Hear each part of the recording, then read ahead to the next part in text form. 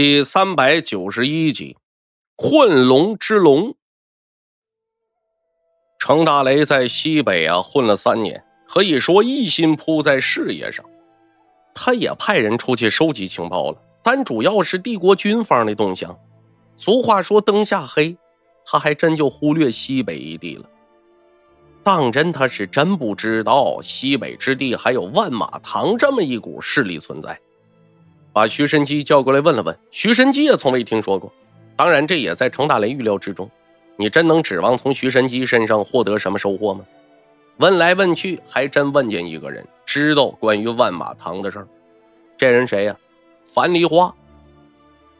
万马堂是伙马贼，当初在西北可是股不小的势力。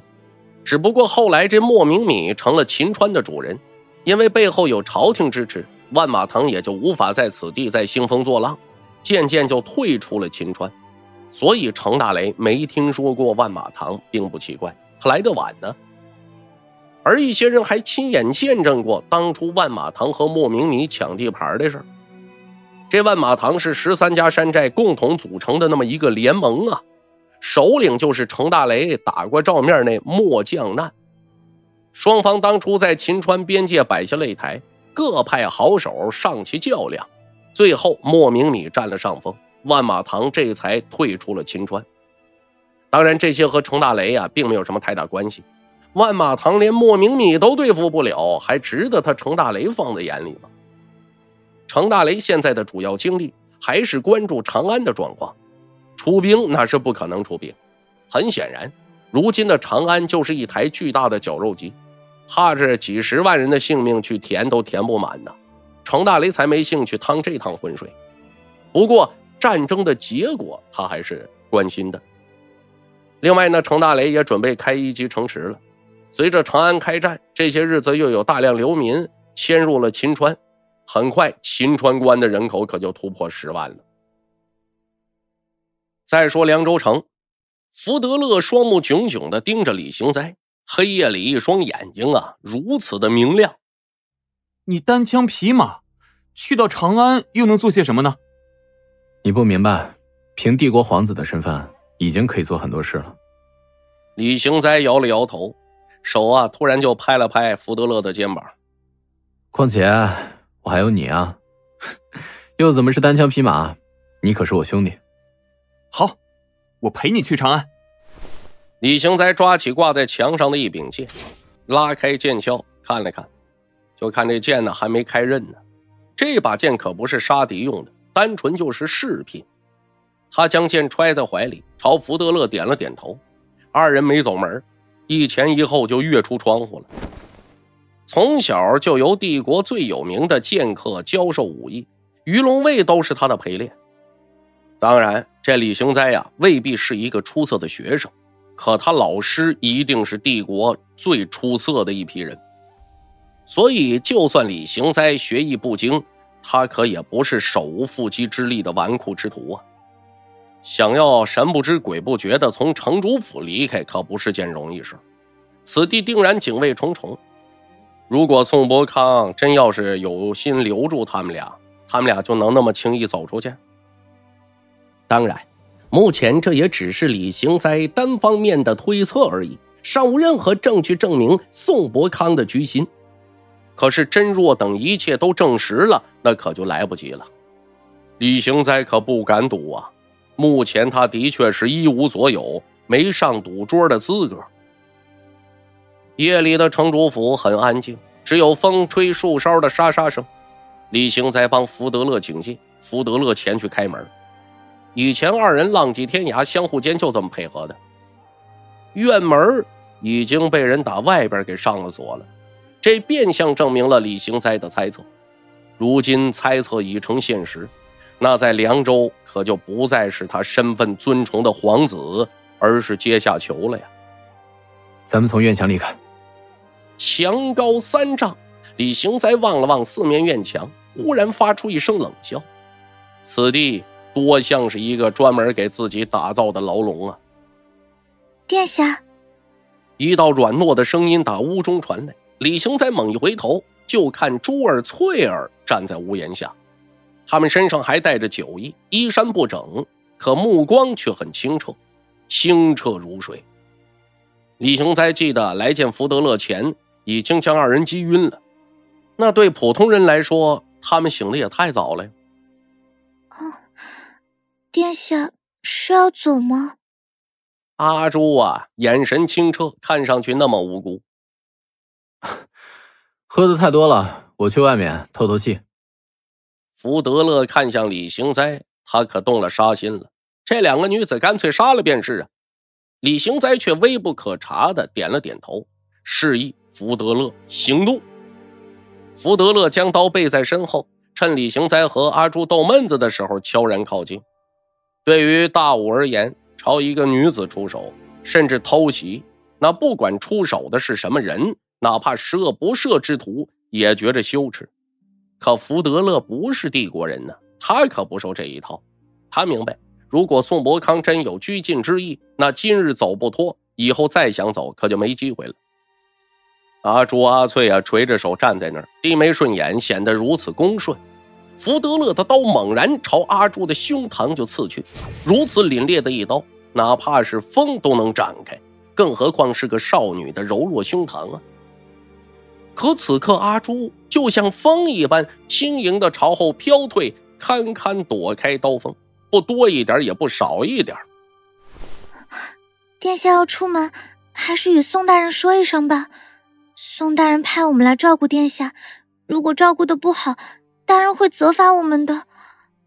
福德乐和李行哉都露出震惊的神情，不敢相信眼前这一幕。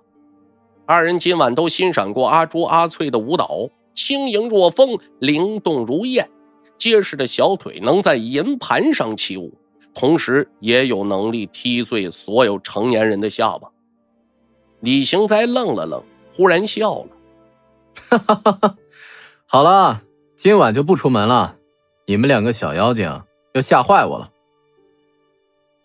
次日天明，院里边来了几个木匠，李行哉和福德乐呀，打院里边下棋呢。就眼睁睁看着这一幕，钟大人，这是要干嘛？怎么要把树给砍了？啊，禀殿下，是宋大人担心殿下的安全，院里长着大树，容易让刺客潜入。哦，原来是这样啊，那罚的好，罚的妙，都罚干净，我才顺心。很快，院内大树被砍了个一干二净，太阳倒毫无遮掩的落了下来，照的整个院子。亮亮堂堂。第三百九十二集，玉龙之术。殿下，在这里住的可还舒服？宋伯康站在李行哉面前，脸上陪着笑。李行哉呢，躺在罗汉床上，把翘起的二郎腿换另一只脚压着。嗯，蛮舒服，舒服的我什么都忘了。李行哉来到凉州城已经有些日子了，三日一小宴，五日一大宴，凉州城当红舞姬，他几乎见了个遍。宋伯康的招待不可谓不殷勤，李行哉过的日子不可谓不舒服。可说这话的时候，李行哉心里边暗暗咬牙呀，只用极好的涵养压制着怒火。宋伯康哈哈大笑，似乎没察觉到李行哉的愤怒。启禀殿下，一个好消息。哦，我在这里还能听到好消息，真是难以置信。的确是好消息，长安城那里传来的。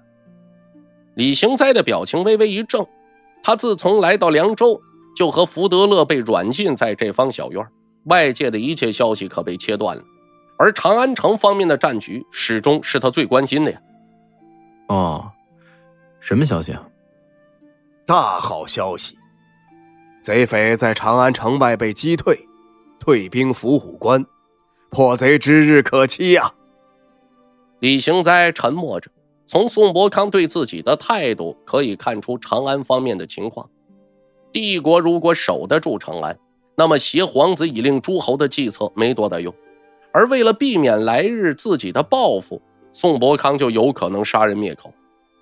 而如果贼匪破了长安，天下必定大乱。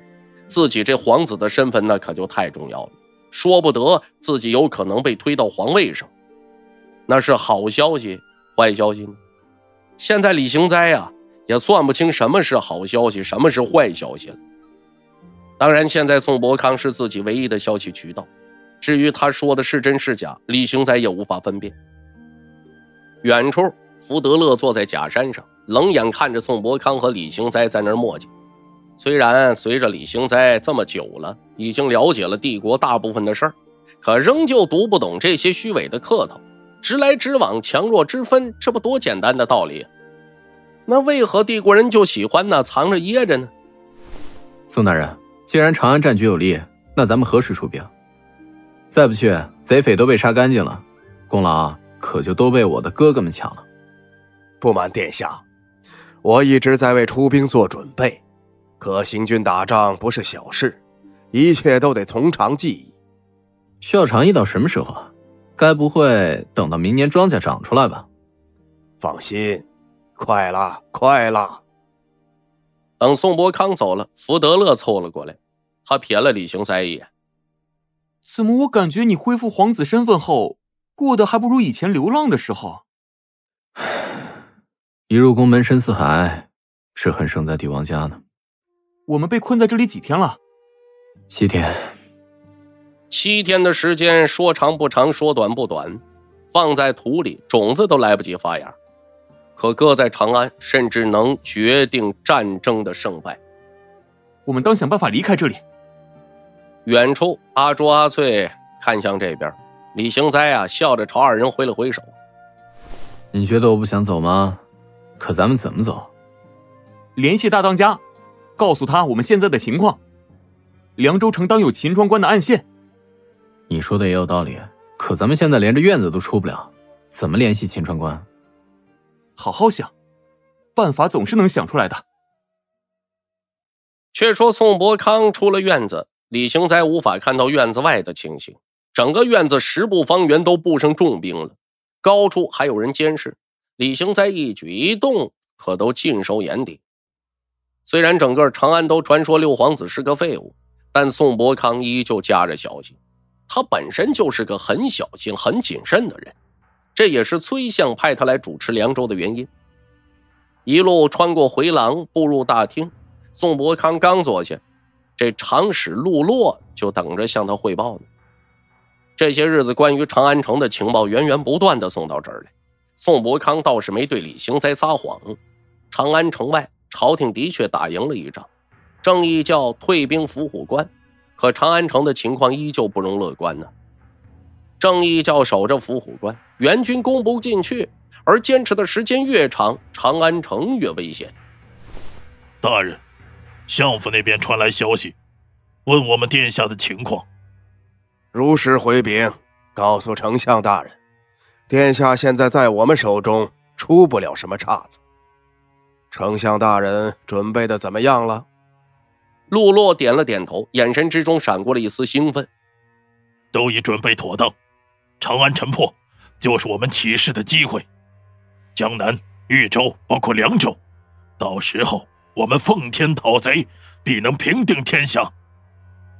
这座天下虽然姓李，但旗下还有不少世家，这些家族传承数百年，根深蒂固。没李家的时候就有人家，无论谁做龙庭。对他们的身份其实没有太大影响。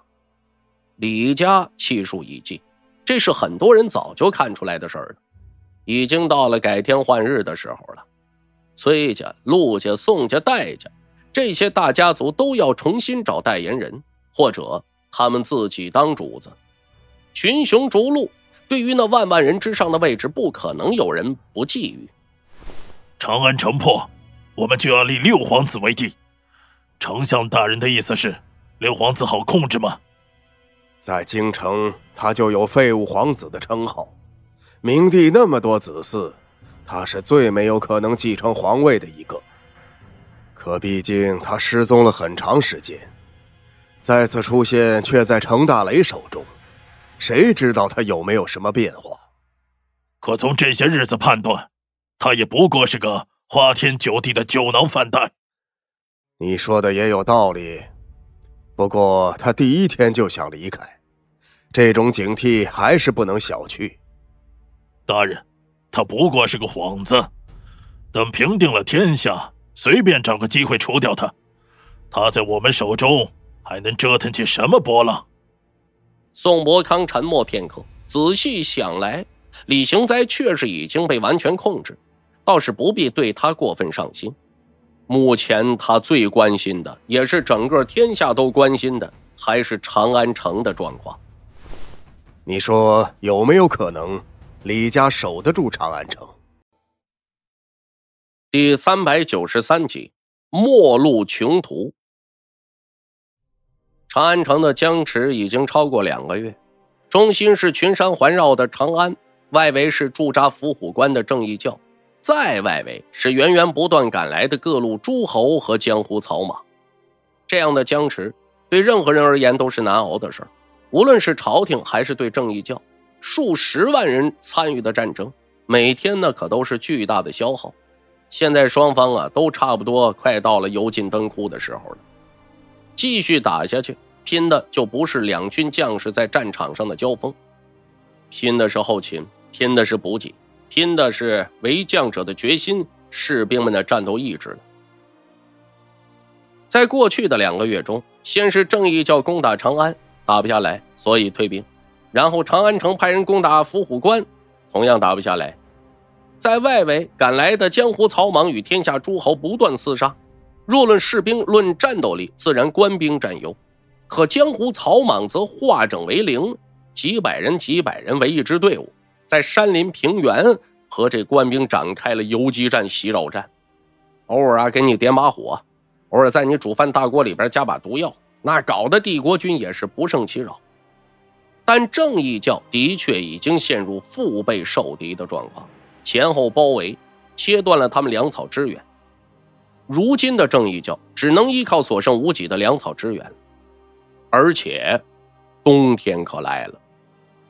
这一年长安的冬天比往年更加冷一些，伏虎关已近绝境了。却说伏虎关帅帐之内，林少宇、郭凡人、洪尘了、林冲以及正义教几个高层人物正在一起议事。负责管理后勤的张豹就开口了。天将大人，如今我们剩的粮草最多只能支撑五天，五天过后我们便没吃的了。现在的林少宇是正义教理所当然的领袖，不管是现实意义还是精神意义上的，粮草问题啊，一直是很棘手的问题。若无后续的粮草补给啊，正义教将不攻自败。或许大家只能选择退兵，当然现在这种情况啊，你能不能撤出去都是个问题。从踏上这条路起，便已知道这是条绝路，而绝路向来是没有后路的。有后路还怎么叫绝路啊？林少宇打量着帐内挂着的地形图，负手而立。明日派出抢粮队伍，每五百人为一队，抢劫伏虎关外各路诸侯的粮草。这样做是否太危险些？我们现在的状况已经够危险了，没办法再危险了。林少宇平静的说出一句话，他回头目视着众人。我们最难的时候，当也是长安城最困难的时候。现在比的，就是谁耗的时间更长。从第二天开始，正义教派出小股部队抢劫关外的粮草。正义教的组成大部分是流民呐，但是经过这一年多的捶打历练，他们已经有了不输于正规军的战斗力。而且他们有正规军没有的东西，这种东西叫做信仰。肯加入正义教的，他们的日子大多过得不好。起事之前，大多是什么奴隶啊、苦力啊、逃犯、亡命徒。他们在内心深处是真的相信有某种神明可以赐予他们温饱的日子。反观各诸侯呢，其实还有很多还在犹豫呢。长安城守不住了怎么办呢？长安城守住了怎么办呢？这些可都是他们要考虑的，但正义教不用考虑，因为攻不破长安城，他们就只有死路一条。于是，这些令人不齿的流贼如狼似虎，撞上了一群体面人，嗯，结果可想而知。与此同时呢，长安城内的状况也的确不容乐观，围城两个来月了，人心都面临着巨大考验。世家不畏惧乱世。他们畏惧的是不能在乱世之中夺取更多利益。可对于大多数衣食无忧的人而言，他们所希望的只是安稳，因为他们目前的安稳来之不易呀。而在下一轮秩序重组当中，没有人能保证他们还能够获得安稳。至于长安城的底层，什么盗贼、强人、流浪汉，也趁着这机会啊，兴风作浪。他们觉着固有的秩序被打破了，推翻那些贵人之后，就该是他们出头的日子了。长安的治安状况变得前所未有的差，城内啊人心惶惶。而这场战役如何结束，什么时候结束，任何人其实都看不破。却说夜里啊，主持完一天的军务事后，李月天进入皇宫面见明帝陛下。如此紧急的情况下，父子关系却缓和了许多，说话倒也不像以前那般客套了。明帝坐在御书房。精神头不错，不像外界传言那般说重病缠身，无法下榻，眼瞅就死了。如今的情况如何？粮草还够吗？长安城内有许多富户，他们家里都有存粮。如今特殊时期，只能强征，他们的粮草还能撑些日子，目前尚无缺粮之忧。关键在其他方面，如今城里谣言纷纷，皆说些不中听的话。只说那林少宇乃天神下凡，便是为破李家而来。哼！以你估计，长安城能守得住吗？我军战斗力要强过逆贼，况长安城的粮草能支撑下去。如今已经入冬，天一日冷过一日，只要撑下去，败的必是逆贼。只不过，只不过什么？只不过长此以往的僵持下去。对国威服役，诸侯领兵而来，虽说为了扫清匪患，但未必没有渔翁得利的心思。即便长安能度过这场危机，怕诸侯也将成为尾大不掉的局面。明帝睁开浑浊的双眼，他看着李月天：“你看得很明白，我以前都小看了你，你的确有帝王之才。”李月天心中一惊，明帝这话里边可有了传位之意了。他慌慌张张跪倒在地，不停磕头。好了，起来吧，起来说话。李月天站起身，还是无法压下脸上的激动。父皇，还有一件事，儿臣不得不提。长安城万一守不住，还得提前做些准备，到时由鱼龙卫护送父王离京。以防万一，我已经逃过一次，不可再逃了。一国之君不能丢人到这份上，该逃的是你呀，父皇。我长安城破，天下必然大乱，怕是有上百年的血肉厮杀。你该扛起李家的大旗，保住李家的血脉。明帝轻抚着李月天的头顶，李月天怔了怔，缓缓抬起头来。父皇，连你也觉得长安城将要守不住吗？第三百九十四集，山河天子剑，灯火摇曳。李月天抬起头，发现明帝的脸色是从未有过的难看，眼中的神采也如那飘摇的烛火一般，随时都可能熄灭。父皇，敌弱我强，匪贼不过是一群乌合之众，最后必然会被击溃。李月天如此说着，但是不知道是安慰明帝啊，还是安慰他自己呢？无论从任何方面说，帝国朝廷在这场战斗中啊，都占据绝对优势。怎么看，最后胜利的也是朝廷，而不是正义教的匪贼呀。可战争可不是说摆在桌面上数据对比，说你做一下加减乘除就能决定最后的胜败了。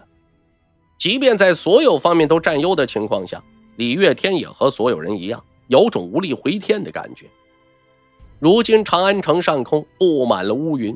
所有人都能看一场大雪将要铺天盖地的席卷而下了，这是大事啊！既是大势所趋，也是大势已去。明帝站起身来，从书架上打开一个暗格，打里边取出个木盒来。李月天的视线追随着明帝的身影，见明帝的动作已有了几分趔趄。果然，他已经老了。如此简单的动作，于他而言都已经是很困难的事儿。将这木匣子打开，里边是一柄剑，剑长三尺六寸五分，八面魔锋青铜护手，剑背纹着两个字儿“山河”。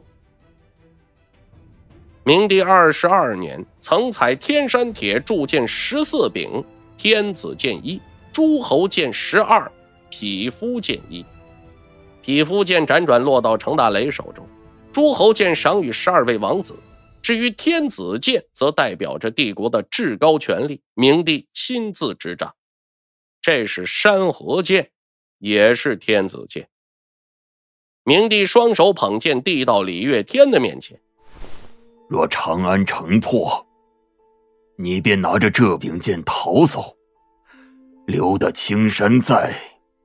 不怕没柴烧。李月天当然明白这把剑代表着什么。谁若手握这柄剑，谁就等于握着天下。他曾经当然也期盼过，可现如今看着这把剑，他却只感觉到沉甸甸的压力。他慌张跪倒，捧剑在头顶。儿臣誓死守卫长安城。明帝坐在龙椅上，忽然感觉有些心灰意冷了。无论从哪个方面讲。李月天都是最适合接任帝位之人，但说也奇怪，诸多皇子中，他最宠爱的反而是那个最不成器的六皇子。打一开始，他就有意把皇位传给这李行哉，可无可奈何的是，这六皇子着实是不争气呀。现如今风雨飘摇，大武气数将尽，明帝不由又想起李行哉来了，心里边不由念叨一句：“你这个老六啊！”你现在在哪儿啊？再说凉州城城主府，软榻一旁，阿朱垂手而立，身上鲜嫩绿衣，煞是喜人。阿朱抬起头来，肩膀和脖颈处有片片青紫，他抿嘴一笑：“殿下，我伺候您吃些什么？”李行哉靠在枕头上，微微眯着双眼，欣赏着眼前的女人。无论如何，这阿朱都是一个漂亮的女子，有精致的脸蛋水做的肌肤，一双美腿，既可以在银盘上起舞，也能踢碎男人的下巴。他轻轻抬手握住阿朱的手，如此美人，怎忍心受那烟熏火烤的？阿朱轻轻笑着，头靠在李行哉的胸口，脸上露出幸福的笑容。很多诸侯会在府中豢养一些歌姬，他们大多呀是孤儿，接受专业的教导，琴棋书画、诗词歌赋，最擅长的就是如何讨一个男人的欢心，同样也擅长刺探情报和杀人。李行哉抿起嘴角，微微一笑，忽然勾住阿朱的下巴：“啊，殿下，您轻一点，我怕疼。”放心。我一向都是温柔的。李行才凑到他耳边，低低的说着什么，双手温柔着抱着他的双肩，眼中却闪过了一丝狠厉。阿朱猛然睁大眼睛，四肢如蛇般的挣扎，竭尽全力想要抓住什么，可最终他什么都抓不住。片刻之后，他便丧失了所有的力气，四肢摊开，眼睛外凸，眼球布满了血丝。李行哉坐在床上，呼哧呼哧喘着气，扯了一张薄毯盖在身上。进入冬天，天气有些凉了。此时大门被推开，福德勒跨步走了进来，手中短刀仍然滴血。你那边也解决了？福德勒点了点头，轻轻拭去刀上的血。城主府的另外一名歌姬就在刚刚也告别了这个世界。福德勒目光在房间之内扫视一圈。你做人不地道，不该在床上杀女人。你一个容祖，难道还要与我讲仁义礼智信？福德乐愣了愣，似乎在琢磨李行哉的话，随后他点点头：“你的话非常有道理。你们五人习惯这样要求自己，却将我们当做蛮夷。蛮夷也有可怕的地方，因为可以不讲规矩。这世上不讲规矩的人总是可怕的。李行哉的脑海中出现一张脸，可是他没继续说下去。这时候啊，夜已经深了，宋伯康刚刚入睡。正在此时，城主府忽然可就冒起黑烟来了，烟中夹杂着火光。不大一会儿，火光冲天，走水了，走水了！外边传来了锣鼓声响，还有阵阵大叫。睡梦之中的宋伯康被惊醒了，揉着眼睛走出房门。哪里失火了？正是殿下住的院子，如今正组织人救火。什么？宋伯堪猛然大惊，睡意荡然全无。如今六皇子对他来说十分重要啊，那就是他手头最为珍贵的一笔资产。这资产若有任何闪失，后果他难以承受。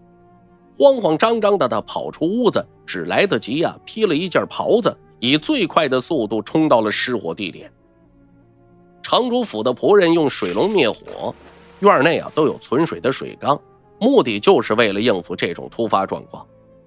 黑烟翻天，直冲星斗，刚靠近就闻着一股刺鼻的气味。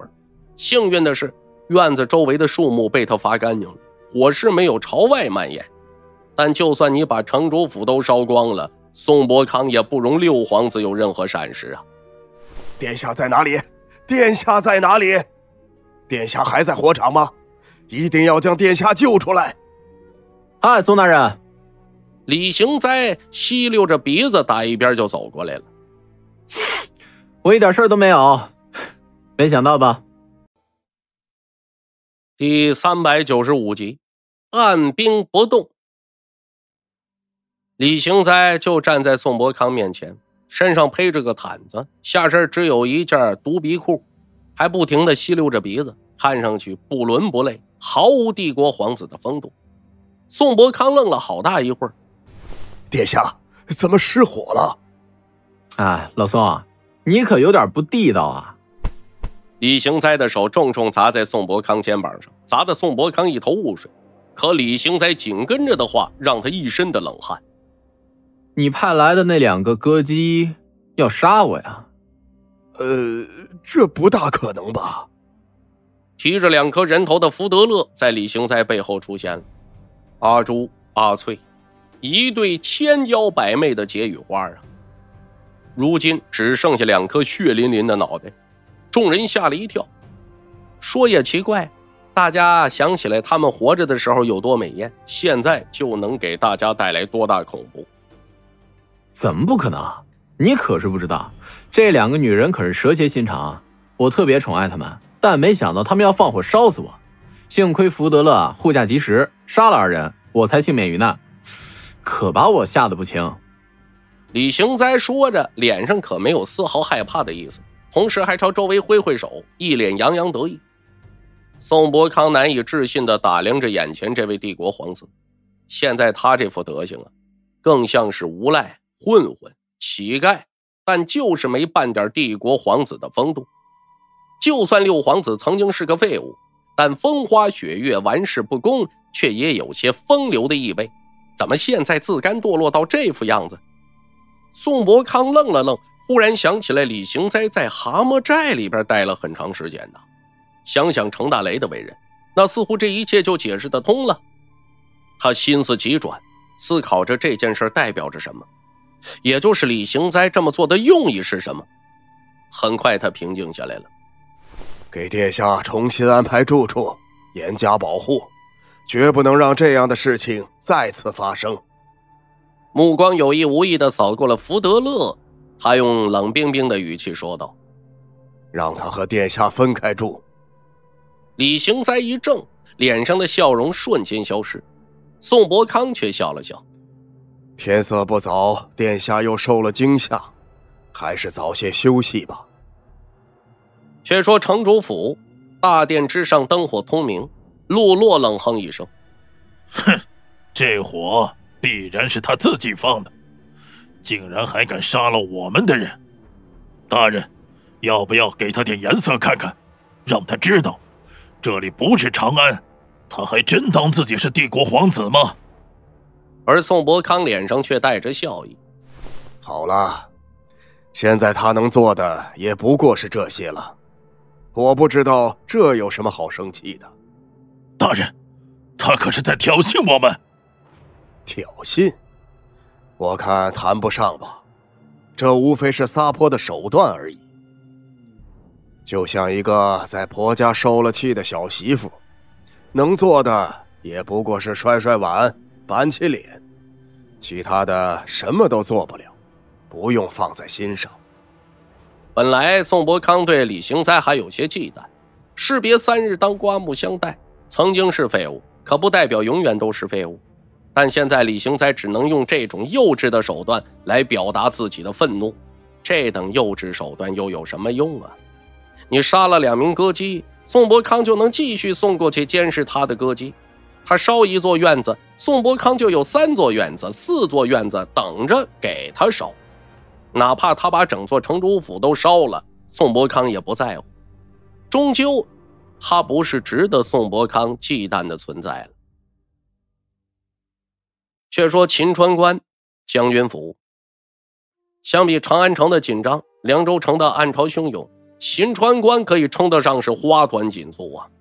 虽然是在肃杀的冬天，却依旧能感受到此间的欣欣向荣。这是个晴天，虽然寒风呼啸，但依旧艳阳高照。书房内烧了个暖炉，很快便热乎起来了。程大雷窝在榻上，听阿苦汇报最近的情报。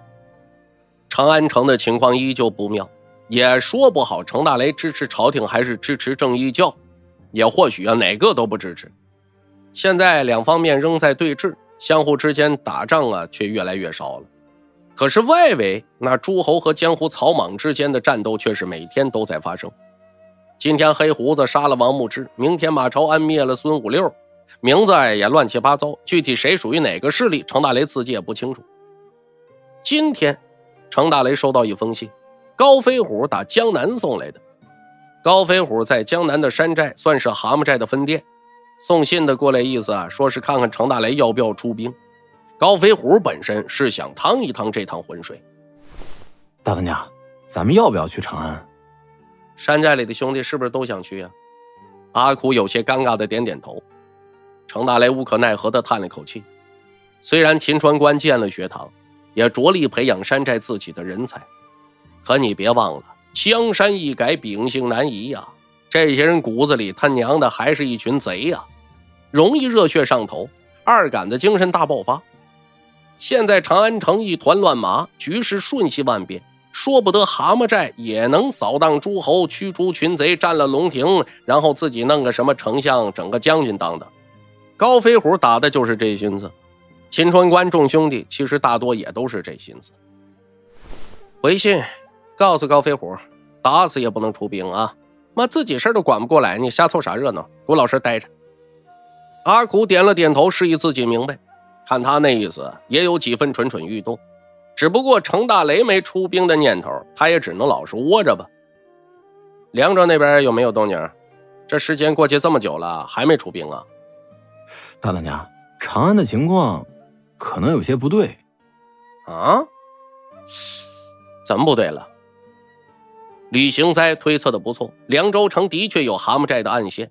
事实上，不仅凉州城。就周围几座城池，程大雷可都埋着眼睛呢。他这个人呢，对情报工作一向特别重视。啊，据探子打探到的消息，最近宋伯康似乎没有出兵的意思，城里半点风声没透出来。据说殿下最近是花天酒地，夜夜笙歌。还有，最近城主府内着了一场火，具体原因尚未查明。程大雷这就有点想不明白了。既然不打算出兵，宋伯康接走李行才想干什么呀？以李行哉的心情，此刻当迫不及待的想要赶往长安呢。他亲老子在城里呢。当然，程大雷也不希望李行哉在长安和林少宇碰着面。那你说这双方谁杀了谁，程大雷都不愿意看见。只是现在这情况，真就透着股子古怪呀。不对，不对呀！派人去查查。第三百九十六集，夜探凉州城。已经派了人手打探凉州城的情报，但我们的人没办法潜入城主府。大当家，不如让白元飞试试。白元飞，绰号飞天蛤蟆呀，也有叫他白飞猿的，一身轻功也就稍弱于程大雷，但他本身不会什么轻功。外界传言，飞天蛤蟆自幼被白猿收养，无名无姓，无父无母，等到十几岁才下得深山。传言只是传言，那事实当然不会如此。事实上，这飞天蛤蟆呀，少小贫贱，就在这山中啊采药为生。值钱的草药那都长在悬崖上，你想要活下去，就得拿自己的命去冒险。于是他生的是手长脚长。在悬崖峭壁之上如履平地。到得后来呀，他这种天赋被某个世家给看中了，训练成为死士。在一次任务失败时被程大雷所救，于是这才成了程大雷的手下。程大雷一听阿苦这话，点了点头：“行，这事儿啊，你来安排，无需向我汇报，但是一定啊，注意安全。”阿苦眼中一亮，强压眼中激动，重重点头。明白。目前山寨的情报工作全由阿苦来做，说实话干得不错。阿苦曾经给人当过账房先生，心特别细。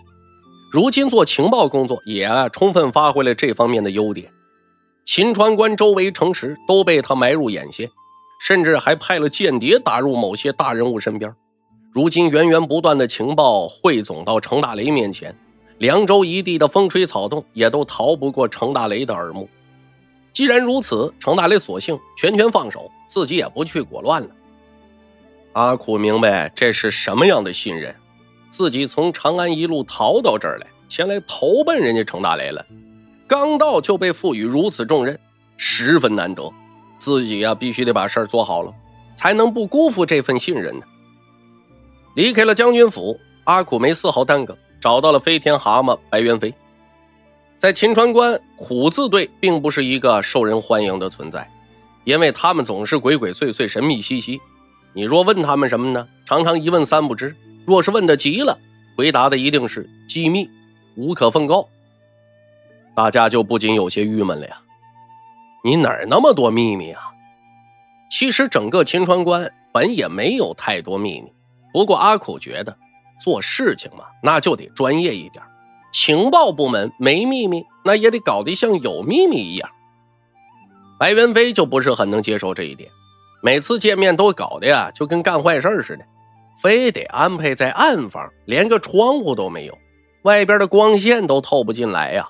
那周围必须得拿人把守啊，那保证方圆几十米范围之内都不能有人偷听。屋里边呢，就只有一盏昏暗的油灯。阿苦的脸埋在黑暗中，就像某位幕后黑手似的。这次又有什么事啊？啊，这次任务非常重要，大当家亲自吩咐下来的。整个山寨除了你，没有人能完成。好了好了，你每次都是这么说的。你有什么事就不能好好说话？不好意思，职业习惯。究竟什么事吧？李行哉去了凉州城后，凉州城一直没有动静。大当家有些放心不下，所以让你去看一看。好吧，目前什么情况？现在凉州城对进城的人盘查的很严，进出都很困难。目前李行哉就在城主府，要想打探他们的确切情报，你怕是要潜入城主府？白元飞点点头，事情比自己想象中要困难。城主府守卫森严，想要悄悄潜入，可不是一件很简单的事儿。当然，正因为不简单，方才需要用到自己呀。如果随便就能打探到的情报，也无需自己出马。我是谁呀？我是飞天蛤蟆。这种自信，他白元飞还是有的。当天，白元飞就出发了，骑了匹快马，靠近凉州城时，把马藏在山坳，换过衣服，就开始等。等什么呢？一直等到深夜，白元飞才开始行动。穿着一身夜行衣，口鼻都藏着，只有一双小眼睛露在外边。夜里的凉州城城门紧闭，周围黑漆漆的，一点动静也无。城墙上一队队卫兵来回巡逻。白元飞将身子贴在墙壁上，黑衣和墙壁融为一体，手指勾着墙缝，身子一点一点向上爬。为了今天这任务啊，白元飞可使出看家本事来了。他也是初来乍到，必须呀得做点事儿给其他人瞧瞧啊。当然，他这本事现在可无人欣赏，没人看得见。头顶突然传来一阵脚步声，两名巡逻的卫兵打城墙上经过。此刻却在他头上停下了。哎呀，哎这天寒地冻的，非得让我们兄弟受这个罪。嗨，如果不是你得罪了队长，我们怎么会被派这儿差事来啊？说着话，却不知啊，脚底下可趴着个人呢。白元飞就趴在城墙外，用手指搭着墙头的城垛子，只要他们朝下扫一眼，就能看见白元飞。但是飞天蛤蟆很平静，他不愧有一个出色的小偷的素质。现在他只期盼着两名卫兵早点离开，自己便能成功潜入凉州城，任务也就算完成一半。但这次白元飞可没有幸运女神的眷顾。两名卫兵嘴里边骂骂咧咧，一个人走到城垛子前，下意识朝城下望了一眼，然后。他就和白元飞的一双眼睛啊对视上了，明显他被吓了一跳。你说这深更半夜有个人趴在城墙上，你这也说不好是人是鬼呀。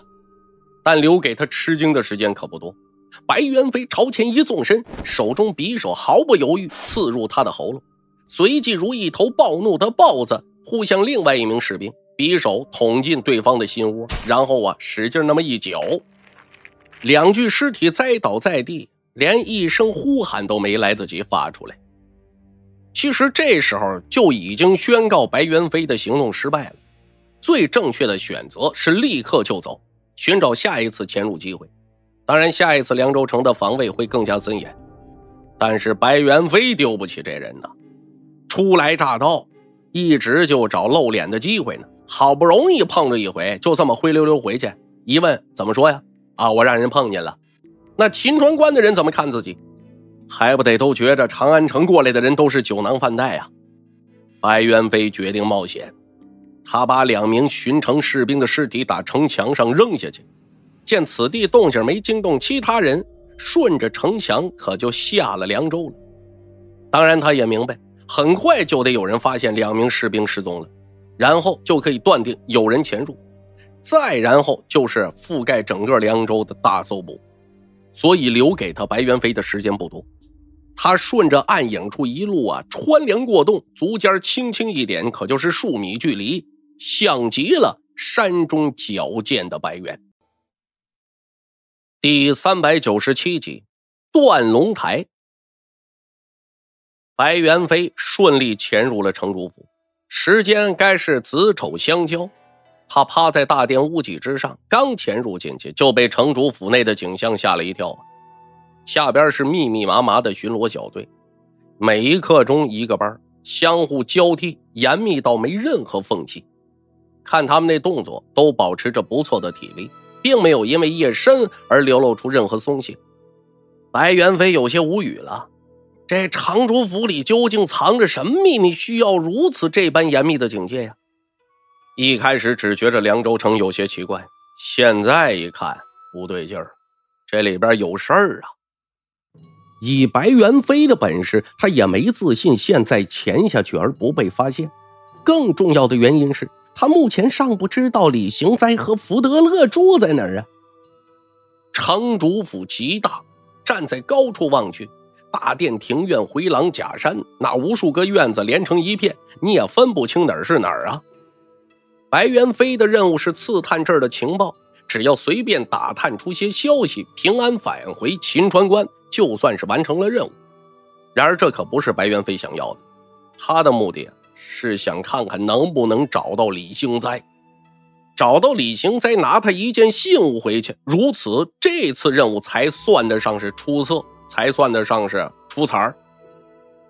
现在啊，尚摸不到李兴哉藏身处，白云飞倒也不着急。他悄悄顺着柱子就滑下去了，潜入到城主府的厨房。随后，他一翻身就跳到了柱子上边。贼呀，常常用胆小来形容。但胆小有时候意味着谨慎。你想偷一件东西，他们可从来不缺乏耐心。这白元飞曾经为了偷一样东西，曾经在阴沟里边躲了整整三天，靠着随身携带的小米充饥，将自己的身体机能降到了极限，还得忍受污秽和有时候从身上爬过去的老鼠虫子，一直等到最后的机会才出手。白元飞就是此道高手。在黎明时分，城下卫兵尸体被发现了，层层上报。最后报到了宋伯康那儿了。宋伯康也是个相当谨慎的人呢。目前这李行哉可以称得上奇货可居呀，那在未来将发挥多大价值，没人敢想象。因此，宋伯康不得不谨慎，城里城外加派人手，以免李行哉出现任何意外。当事情发生后，宋伯康第一时间就预感到这事儿肯定和李行哉有关，有人潜入凉州城，这是想救出李行哉。随后，宋伯康就针对性的全城展开大搜捕，一时间，整个凉州城是风声鹤唳，草木皆兵。宋伯康甚至专门见了见李行哉，看到李行哉安稳的出现在他眼前，他悬着的一颗心才算放下。不得不说啊，这宋伯康对李行哉的招待那可是相当不错。凉州城内有名的歌姬一波一波的往这送啊，吃穿用度。仆人伺候着，只要宋伯康能满足的，绝对不会给你打半分折扣。宋伯康有自己的心思，未来的李行哉会成为怎样的人，谁都无法预判。说不得就得面南坐北，成了九五至尊呐。就算是个傀儡皇帝，那傀儡皇帝也是皇帝呀。如果自己今日对他有了亏待，他把那仇恨的小种子埋在心里，等得来日报复。这种事儿啊，还还是尽量避免发生吧。好吃好喝好招待，可在别的事儿上，宋伯康绝对限制李行哉的自由，比如绝不允许他和福德乐见面。李行哉也确确实实是被软禁了。对于这样的待遇，他也没有表示出什么不满的情绪，终日啊花天酒地，与歌女饮酒作乐。躺在万花丛中消遣着美人的胭脂脂粉，常常醉的是不省人事。许多人看到这一幕连连摇头。还没等成为皇帝呢，李行哉就显露出一个昏君的气质了。如若有朝一日真让他执掌了天下，大概这大武朝也算是走到头了。当然，一个昏庸无能的废物更适合成为一个傀儡，也更加容易被控制。这也是宋伯康。包括宋伯康背后那位崔相乐于看到的，可很少有人能了解李行哉内心深处的苦闷呢。自打上次失火之后，他和福德乐就被分开关押了。李行哉和福德乐相处的时间很长，两个人一起流浪，一起偷鸡摸狗，一起坑蒙拐骗，这些事儿都是他们俩一起做的，早已经产生了深厚的默契。这突然一分开，剩下李行哉一个人。他就像失去一条臂膀一般无助，一切问题都得他自己想办法解决了。况且李行哉现在呀，处于严密的监视之下，所住的院子里边，什么仆人呐、厨师啊、园丁啊，哎，包括每日陪他的歌姬呀，那可全都是人家宋伯康的人。甚至这李行哉每天睡觉都至少得有两双眼睛盯着他。李行哉如果现在能够累生双翅，他可以从这儿离开。但可惜，他没程大雷身无彩凤双飞翼的本事啊！他现在唯一能做的，也就是花天酒地，借此来蒙蔽自己的敌人，从而期待着人家能对自己放松警惕。他在外人面前演绎的多放纵，内心就有多苦闷。被关在这儿，失去了所有自由，也失去了长安城的消息。现在的长安呢，每分每秒都可能发生大事。莫说身为帝国皇子，便身为人子，也该替父亲分忧啊！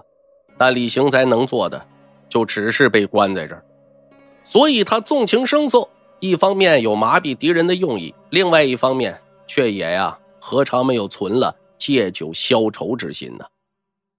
长夜漫漫，你这要真是天天喝酒啊，你喝的越多，到后来便越不容易醉。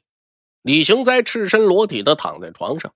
眼盯着高高的房顶，身边躺着今夜侍寝的女子，在严密监视下，李行哉便是在外人面前流露出任何情绪都不能，只能一夜一夜盯着房梁发呆，等待黎明到来。他就像是被绑在断龙台上的巨龙，虽然身体内流淌着高贵的龙血，可以呼风唤雨、翻江倒海，但却被绑在柱子上，一动都不能动。吱呀一声轻响，窗户被人嵌开一条小缝，一个竹筒探进来了，随着就吹进了一股烟雾。李行哉的眼睛慢慢的有些沉重，挣扎了两下。忽然感觉一方湿透的手帕盖在自己脸上，等他清醒过来，就见一个黑影站在自己面前，浑身污秽，身上散发着令人作呕的异味。他瞪大眼睛，好不容易才把这白元飞认出来。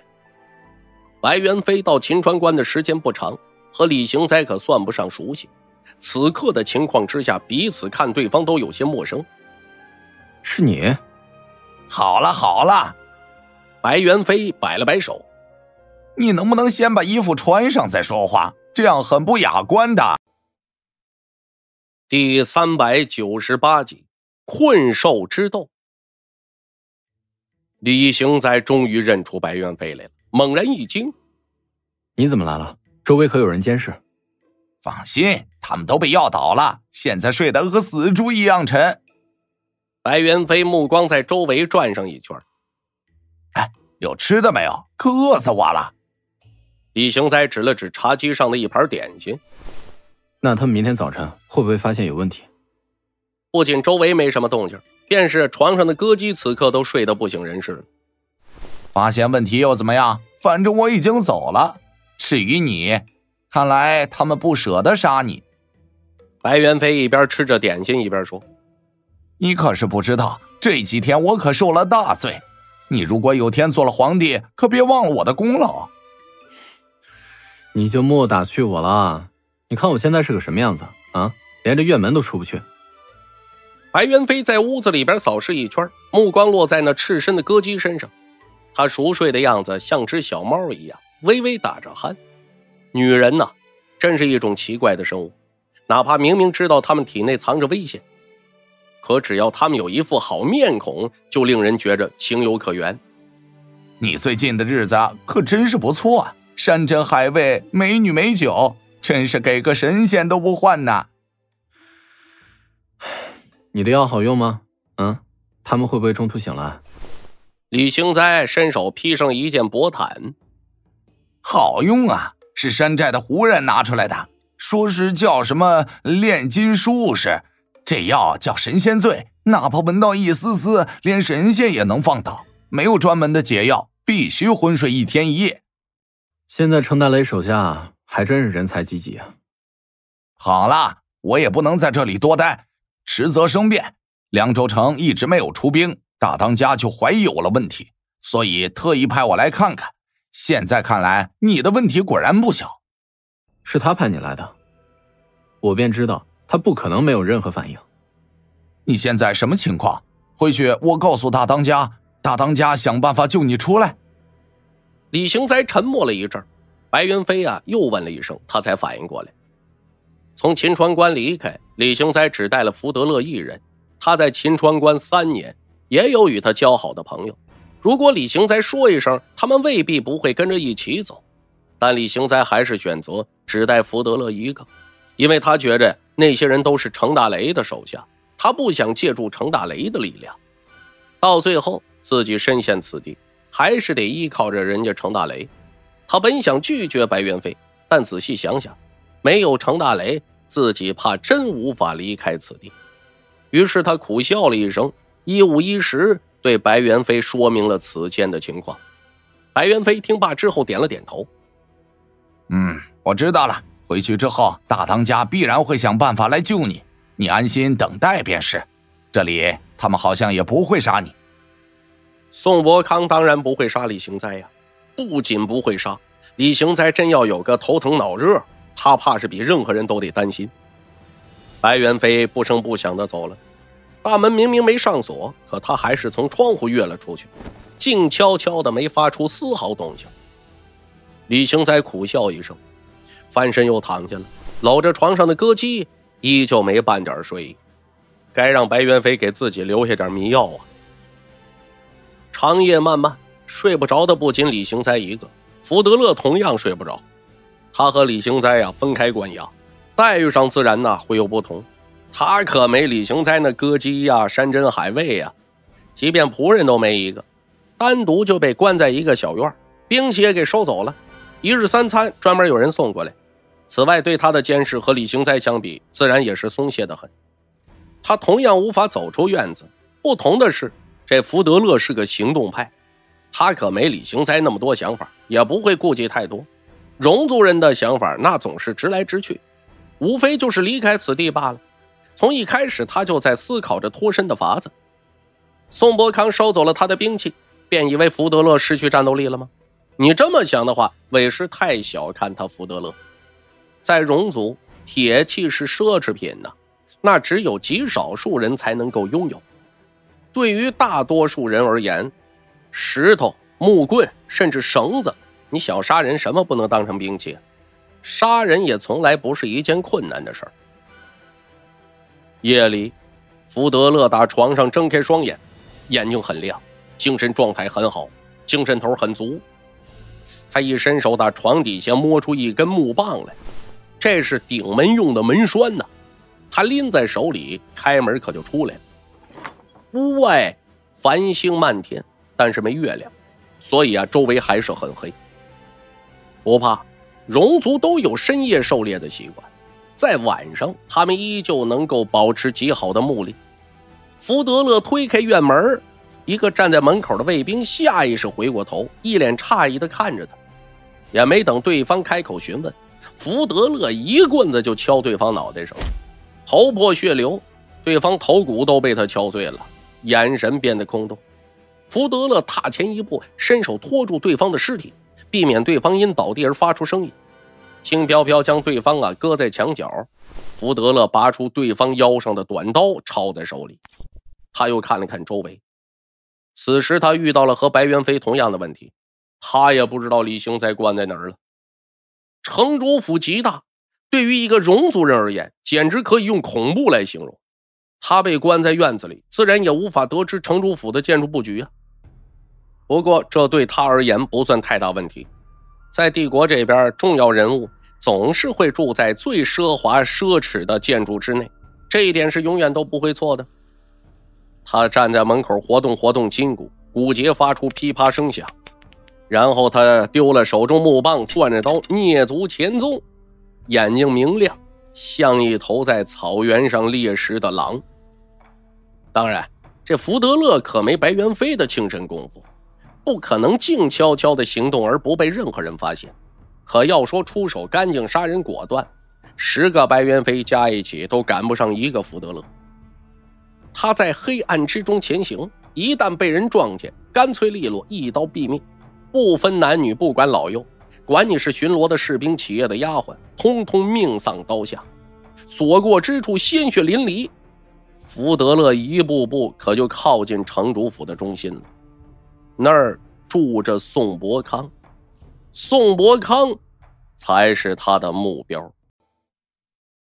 第三百九十九集，蠢强蠢强的。却说这白云飞鬼鬼祟祟啊，顺着墙角爬上屋顶，然后手脚并用在屋脊上行走，四肢接触瓦片，轻盈的不发出任何声响。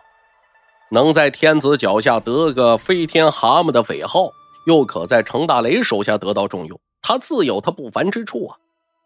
但与其说他是一只飞天的蛤蟆，倒不如说他是只在房顶上行走的猫。白元飞很满意自己今晚的表现，顺利取得凉州城情报，又取到了李行在身上的一件信物。只要平安返回山寨，这次任务就称得上是圆满。然后他无意间呢朝房顶下边扫了一眼，白元飞这只夜猫就看到了一头黑豹。对方同样在夜幕中行走，手脚并用，只不过动作没白元飞轻盈。但动作更加简单直接，纯粹高效。他从回廊跳到墙角，贴着墙边跃到假山，四肢永远可以找到最好的落脚点。路上碰到的一个个人，干脆利落的都给放倒了。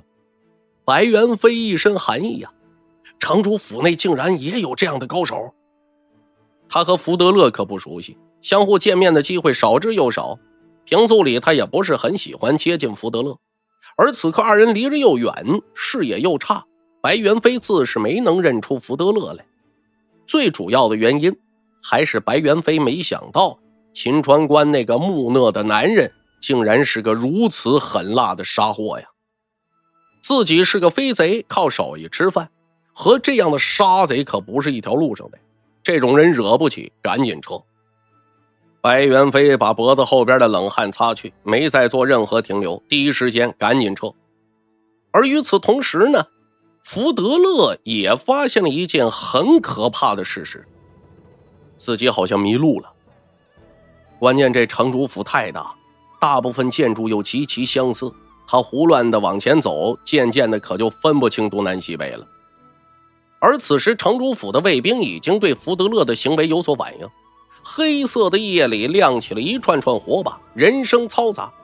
李行哉所住的院子第一时间被保护起来，然后开始翻人。福德勒也没傻到拿鸡蛋碰石头的地步啊！他在躲避追捕，寻找暂时安身之处，以等待可以出手的机会。他的速度很快，没有白元飞那样轻盈，但动作却很干净。整个人走之字形路线，任何可以立足的地方都将会成为他下一个落脚点。前方是一座假山，隐隐传来脚步声。福德勒瞬间提起精神。草原上长大的人呐，有种类似野兽的听觉。对方速度很快，不是弱手，足可以给自己带来危险。他瞬间握住刀柄，一路上杀过很多人，都是直击要害，一招毙命，以减少不必要的麻烦。可随之那脚步声消失了，福德勒的一颗心可提起来了。在自己发觉对方的时候，这时对方也发觉了自己，都是狠人啊，都在等待猎物松懈的时候一招毙命。隔着一道假山对峙，那究竟谁是猎物，谁是猎人呢？福德勒放松了呼吸，猛然向前一跨步，手中刀干净利落的挥出，同一时间。他察觉到对方的呼吸也消失了，这是一个猎人挥出猎刀的前奏。啊！砰的一声脆响，同一时间停步，同一时间攻击，两人的刀也同时撞在一处。短暂的几个呼吸间，双方已过了数招，平分秋色，谁也奈何不了谁。福德勒知道城主府有高手，肯定有人的实力在自己之上，但对方出色的反应和力量。还是给他带来不小的震撼。倒是对方的刀势缓了缓，愣了愣神，喊了一句：“是你。”对方穿着夜行衣，蒙着口鼻，只能看到一双眼睛。福德勒没办法认出来对方是谁，可他察觉到对方的松懈，随即立刻出手，一刀就斩向他的喉咙。高手相争，一分一毫的松懈都是致命的。喂喂，是我啦，自己人。对方慌乱的喊着，动作十分狼狈。刀刃接近对方脖子时，硬生生停下了。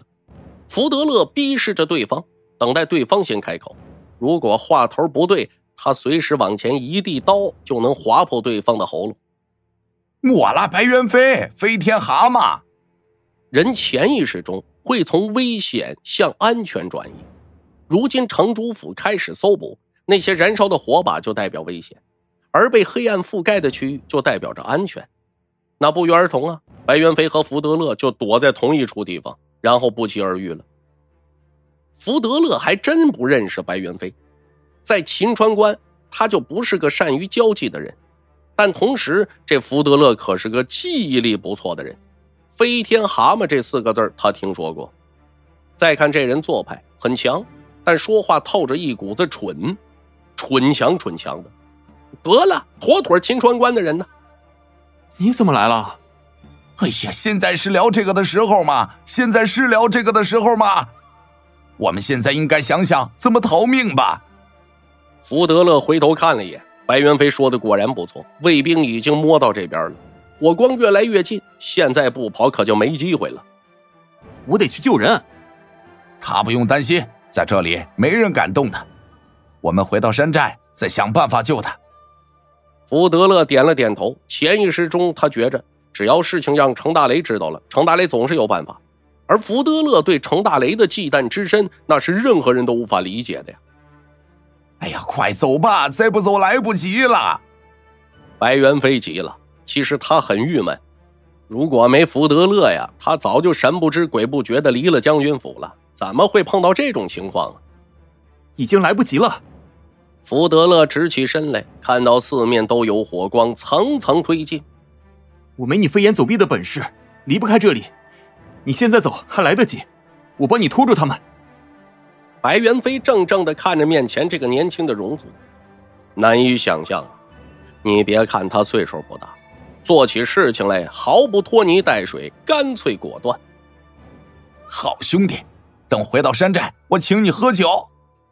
白元飞也不啰嗦。他也明白，现在福德勒所说的是最好的选择，可同时也意味着他将自己置身于危险之中。宋伯康不会杀李行哉，可并不意味着他同样不会杀福德勒呀。白猿飞腾身而起，打假山上就窜到了一棵树上，顺着树梢爬到了大屋的房顶，脱离了包围圈。第四百集。狼子野心。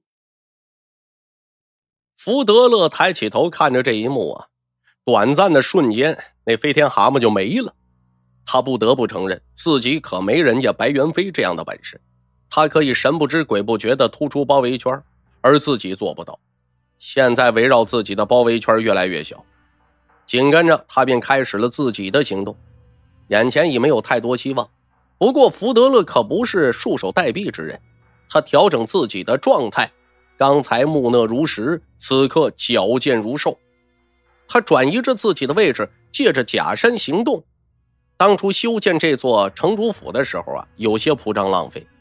这庭院建得很大，小桥流水，回廊假山，此地完全成了福德勒的杀戮场。他借着障碍物躲避，捎带着收割生命。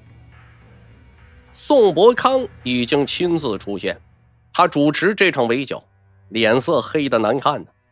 数百人围在一起，竟然还没办法抓住对方，甚至连对方影子都没摸见。什么时候手下人已经丢人到这种程度了？外边动静搞那么大，李行才不会没反应。他现在呀还没睡着呢，听见外边动静就朝外走，结果刚到门口被人拦下了。启禀殿下，外面有贼人行凶，您还是留在这里比较安全。李行哉撇撇嘴，这些日子他都没能踏出院子一步，对于这样的话也司空见惯了。哪里来的贼人？是，安全要紧，殿下，请回去休息。李行哉被堵回去了。现在的他跟聋子瞎子差不多，外边打的热闹，可自己对发生什么一无所知。其实他现在最担心的就是飞天蛤蟆别让人逮着。也不知道过了多久。这每分每秒对他来说都是巨大的煎熬。然后院门被人推开了，宋伯康拖着长袍走了进来，请殿下到外面看看。哟，我终于可以去外面看看了吗？这还真是出人意料呢。可外面会不会很危险？李行哉冷笑一声，刚踏出院子，脸上的笑容立刻就僵住了。福德乐被人压着。身上鲜血淋漓，显然受了不轻的伤。殿下，好好看看这个人，您认识吗？李行哉抬起头，撞见了宋伯康阴冷的一张脸。却说，在福德勒吸引住所有人注意力的时候，白元飞已经顺利潜出了城主府，翻过城墙，连夜返回秦川关。第二天一早，天刚蒙蒙，有些光亮。白元飞就回到了秦川关，一口气没歇呀，拉着阿苦一起去见程大雷。白元飞离开的这几天，阿苦心急如焚呐。他倒不是多在意这次任务，关键是好不容易有个露脸的机会，千万可别玩砸了。程大雷打着哈欠来到书房，看着白元飞就立时吓了一跳啊，浑身脏兮兮的，满脸都是污泥。头发打结都缠在一起了，散发着一股恶臭。我去，这咋整的？咋搞成这样了？大当家果然英明神武，料事如神。您猜的不错，李行哉是出事了。啊，行行行，拍马屁的话别说了啊！程大雷摆了摆手，见白元飞神色憔悴，推了杯茶，赶紧到他面前：“别着急，你慢慢说。”那宋伯康狼子野心，根本就没想去解长安之围，反而想坐山观虎斗，等着长安城破，推李行哉上位，挟天子以令诸侯。什么？程大雷心中一惊。晨起的睡意啊，烟消云散，只剩下震惊了。他知道宋伯康不会有什么好心，然而没料到对方的野心竟然这么大吗？这种事儿，李行哉只要转念一想就能明白，但对于程大雷来说，的确是有点难以理解。他坐在那儿，心思如电，消化着这件事。良久之后，李行哉怎么打算的？他自然想要我们救他出去。如今的李行哉几乎是被软禁起来，每天行动都有人监视。想要从凉州城救出人类可不容易，不过这事儿不用着急。既然是软禁，宋伯康肯定舍不得杀他，咱们可以从长计议。哎，大当家，宋游渠还在我们手中，不如交换，用宋游渠换李行哉。不可能，李行哉在他手中，就算呢。你把他亲爹杀了，他也不会把人交出来的。大当家，这件事不能不急啊！福德乐还在他们手中呢。为了掩护我，福德勒故意吸引他们注意力，而且还杀了很多人。现在被他们抓着，是生是死还不知道呢。程大雷皱起眉来。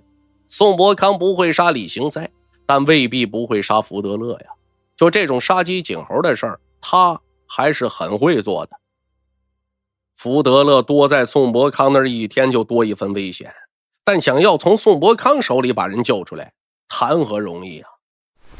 大当家，干脆用宋游渠换福德勒，反正福德勒对他们来说也没有什么价值。如果能换回自己的儿子，宋伯康肯定是乐意的。胡说八道！阿苦立刻呵斥了一声：“宋游渠在我们手中什么样的价值？你又不是不知道，怎么能用一个戎族换回他们？”对于上位者的御下之道，其实阿苦比程大雷更懂。福德勒和宋游渠孰轻孰重，那是不言自明的道理。宋有渠落在自己手中，则是给宋伯康套上了枷锁；然而换回福德勒，其实没多大价值。白元飞不该给程大雷这种选择，因为拒绝的话不能从程大雷的口里说出来，否则这要传出去，大当家就得落得个只顾利益不顾兄弟情谊的名声。对程大雷声望有损，所以阿苦啊，第一时间呵斥白元飞，自己可以落个无情的名声，程大雷不能。程大雷一摆手，哎，什么话？都是自家兄弟，分什么戎族帝国呀？人呢是一定要救的。大当家不认真考虑吗？这里说的话，我保证只有我们三个人知道。这话不行，再说了啊！快把和珅给我叫来。聊聊怎么交换人质。阿苦沉默的垂下头，没再说话。白元飞则是脸上狂喜：“我去找何大人，我腿脚快。”哎，拉倒吧，你也歇一阵吧，找别人。